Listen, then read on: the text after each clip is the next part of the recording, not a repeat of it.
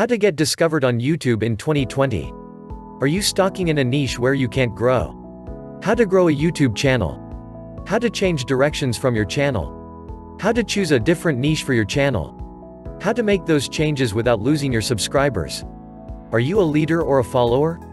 What content do you need to create? What are casual viewers and how to get them? This and more we are going to discuss in this two-part series. So without losing more time, let me introduces you to the first part.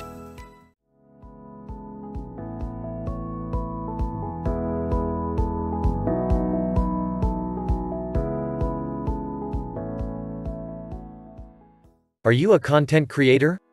Perhaps you want to be one. Or you are scared because the video is harder to produce or you don't know how to grow? There's one secret to growing on YouTube that I think would massively have an impact for most of you if you're a content creator. It's a secret that no one is talking about. And nobody else in the community ever talks about. I don't think anyone's ever shared it. I don't think most people realize that this is happening. I'm just gonna give it to you. Let's get started. I need you to do something before we continue. Subscribe like and hit the bell notification so you don't lose any new video from us. My name is Concarster and as a way of introduction to the video. I will explain what I do. I make videos with the idea of helping you create something awesome. I make videos on information, tips, and tricks that cause me three years of my life jumping from channel to channel and reading some books at the same time about the topic.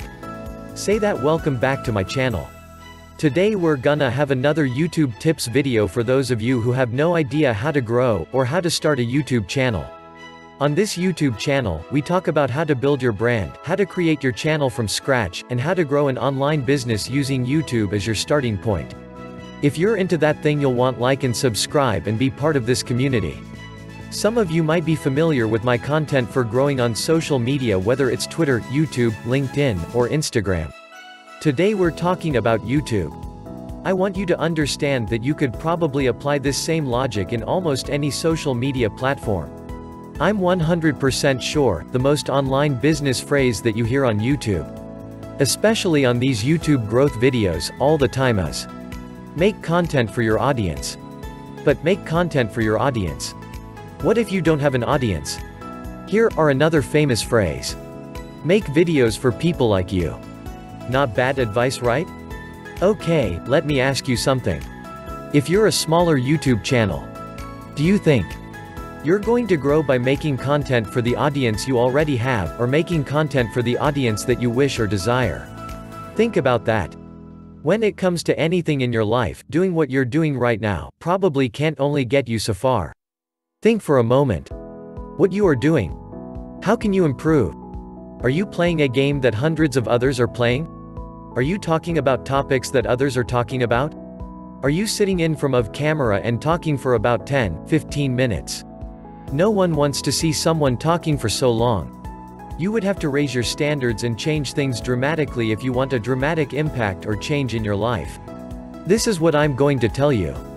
You should do make your content with the assumption that nobody knows who you are. Make content that is accessible for people who don't know you, don't care about you, and have never heard your name before. That would probably help considerably. See what a lot of you are doing. If you're playing the Tuberlandia game, you are trying to do things that fit within the YouTube culture, things that you see a lot of people in the YouTube community doing. Things that you see your favorite content creators are doing. If you are doing that, you are wrong. That will never work for you trust me. It will never work because those people are already established, and their place in the community is already secured by now. Many videos out there said, be yourself. But this is not a video about be yourself. Or is gonna be a video where I say the secret to success is being yourself. That's true on some level, you need to be original, and the only way to be original, it is to be yourself cause no one is like you. But it's true for a very specific reason. As an example, let's say that the core YouTube community is the 32 million people subscribed to MrBeast the biggest philanthropy YouTuber. Okay if the community is 100 million people, the community is outnumbered by the average consumer, the casual viewer. Because while there are million people strong in the YouTube community among those core watchers, and even the content creators themselves, they're outnumbered by the billion people they're logged in every month. What are casual viewers? Another example. I have another small YouTube channel, where the main point of this channel, is to get their subscribers organically. I just upload videos around top 10 whatever I like, and let YouTube do the rest. Even in this video, I don't go to mention the name of this channel, cause I don't like the idea of sub per sub. Right now that channel only has 21 subscribers with 1538 views, but the channel is less than a month old, but the important thing here. This channel has 720 hours of watching time, and of course, 21 subscribers can generate all that time. So from where that time is coming. Casual viewers. Making your content easier to understand, making your content entertaining for those casual viewers, is not part of the internet culture, and not part of the YouTube culture. It is just a simple key to your success. Another thing. You would need to identify, who is the desired audience for your content? Some of you are making content with no idea who you're making content for. Some of you are just simple, creating content around a topic that you like. As an example, when you recoding yourself playing a game, you create the content around that game because you like, but it is not what you like, it is what like to your audience. YouTube is an entertaining platform, so for over everything, you need to create entertaining content for your audience, not for yourself. And that means you haven't focused on who your core audience is. You have no identifiers for your content audiences. You can't make something for everybody, it is impossible to create a video for everyone on Tuberlandia. As an example, at the beginning of the video, I let you know exactly for what audience I create content. I focused my creations around those relatively new to YouTube or those that like to start a channel from scratch, or need some kind of help to grow around a YouTube channel. That is my target audience, so I choose from those millions, those then want to have a YouTube channel. Those then want to create and grow a channel. Do you get the idea? You have to find out of those billion people. Who are your audiences? Who is your community? Where the content that you create fit? What kind of audience do you wish? And remember when you go fishing, you can't ever catch all the fish in the water. You are not money and for enders, you can't make everyone happy. But the best thing you could do. Never try that. Not even try that. That's the reason where people get frustrated, where people burn out and why people don't feel they can be themselves. Even some of the largest content creators are struggling because in many ways they're still making videos for the audience they have. Of course, you need to create content for your community, and the best way to do that is to centralize one single question in your mind. What kind of audience do you want, for what kind of people are you creating content?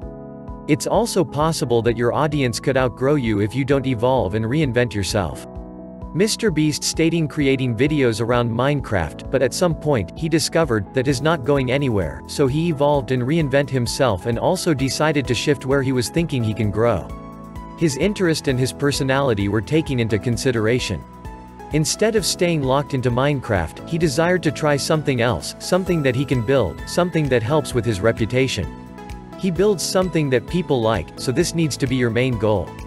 Find what kind of audience do you want, and then create content then that audience like it.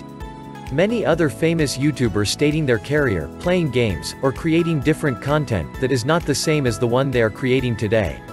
What I'm trying to say here is simple. Don't be scared of trying something new, especially if you feel that you are not growing as you want. You can gradually and slowly introduce new concepts that help you grow. Always remember, every one star at zero. Your YouTube channel's success partially depends on consistent, but valuable content for your audience is the key. Sometimes it's difficult to keep your channel full of fresh ideas for new videos. When that happens to you, it is very easy to find some new ideas and concepts that help you stay up to date on creating extraordinary content for your audience. You want ideas for new contents, you want topics that will like to your audience. I can give you right now, not only one but hundreds of ideas. Don't invest all your time and effort in your channel, divide your time between other people's channels, watch other people's videos, don't go channel by channel, watching a few seconds, and writing a comment like, Oh yeah. I like it. I know this because I see many complaining about watching time, and I have a few emails asking for that, and I have two or three more videos. I don't know exactly how many videos where I talking in the subject about many different ways to increase watching time, so my conclusion at this point. You don't know exactly where you going to find information that helps you in a video, maybe at the beginning at the end or in the middle, for that reason, don't waste your time, jumping from channel to channel, use your time the smart way. I will end part 1 here to keep the video relatively short. You are awesome. Need advice on growing your YouTube channel? Want more views and subscribers? Then join our channel. We can grow together. Have a wonderful day. And I will see you next time.